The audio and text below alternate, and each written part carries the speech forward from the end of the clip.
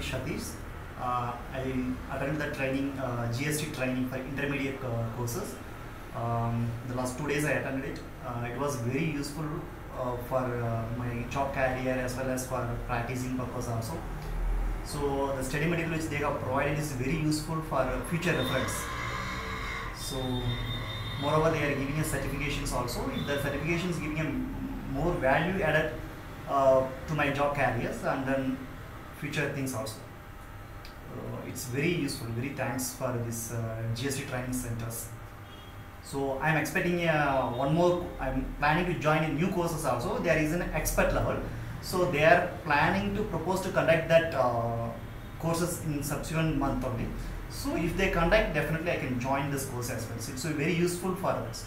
Moreover, they are teaching uh, presentations and then uh, material study material is very useful for for us. So I am recommending to my friends and then my colleague for everyone. Thanks.